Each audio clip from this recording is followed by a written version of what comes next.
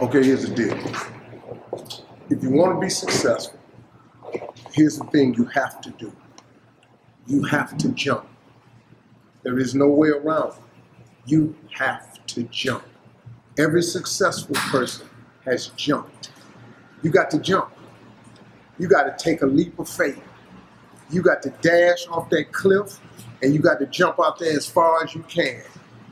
Now, a lot of times you stand on the cliff of life and you see other people soaring by, gliding down like a bird flying through the air. You know, they going over to the south of France. You see them on a boat somewhere. You see their family vacationing here, their family vacationing there. You see them dressing like this. You see them in New York, then you see them in London. They flying by. You know why? It's because their parachute open.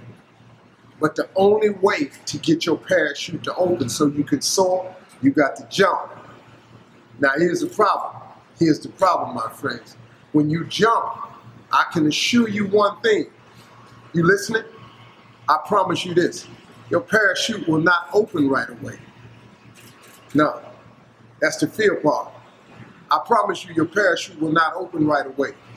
You're gonna hit them sides and them rocks. You're gonna tear your back out on them cliffs. You're gonna you're gonna cut yourself. You're gonna get wounded. You're gonna get some tears and stuff like that. But eventually, the parachute will open and you'll be soaring. But here's the other caveat. Let me teach you this right here. If you do not jump, I promise you one thing, your parachute will never open. So you're safe, but you'll never soar. You got to jump. I got